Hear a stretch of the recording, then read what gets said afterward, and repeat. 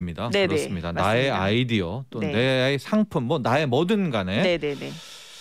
어 저는 좀 이따 얘기하겠지만은 네. 아 저는 이게 될까 뭐 이런 생각 늘 하고 있었는데 근데 실제로 플랫폼 들어가 보시면 네. 그 모금액이 굉장히 높아요. 그러니까요. 네. 예. 인기가 있습니다, 실제로. 이용자들 네. 이 연령대는 네. 어떤가요? 뭐 딱 생각해 보시면 아시겠지만 20대부터 40대까지가 주 고객층이고요. 음, 예. 어, 크라우드 펀딩을 직접 진행하시는 분들은 사실 그러니까 내가 뭔가 사업 아이템이 있는데 대량 생산하기는 좀 무섭고 시제품 정도 만들어서 시장 반응을 확인해 보고 싶다. 네. 약간 이런 취지로 많이들 하시거든요. 예. 그리고 이제 펀딩으로 시드머니를 좀 확보해 보고 싶다. 음. 아니면 내가 뭔가 쇼핑몰을 작은 걸 하는데 이거 관련된 어떤 데이터 고객 데이터 같은 거 음, 이런 음. 것들 조금 더 확 보해 보고 싶다. 이럴 때 네. 많이 사용하시는데 예.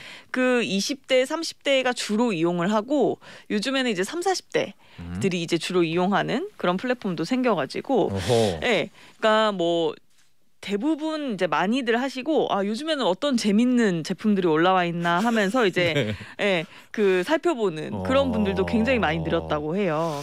그러니까요. 네. 이게 이 두세 개가 공존하고 있는 것 같아요. 요즘에는. 네, 네, 네. 진짜 잘 되잖아요. 정말 잘 됩니다. 예. 네, 네, 네. 하고 한 세대는 한 세계에선 정말 모르고 있고 전혀 모르는 전혀 분들도 모르고? 많더라고요. 네, 네. 저처럼 알지만 네. 저게 되겠어라는 생각에 네. 중간 그룹을 좀 네, 차지하고 네, 있는데 네. 굉장히 회원 수가 많더라고요. 플랫폼들 좀 보죠. 먼저 플랫폼이 어쨌든 네. 시작점이잖아요. 네, 네. 대표적인 플랫폼들이 이미 여러 개 있고요. 플랫폼마다 또 특징이 자름, 다릅니다.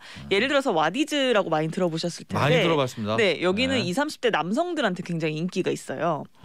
어. 그래서 그분들이 주로 이제 관심을 보일 만한 아이템을 여기서 이제 펀딩 하시면 굉장히 잘 네. 되고요.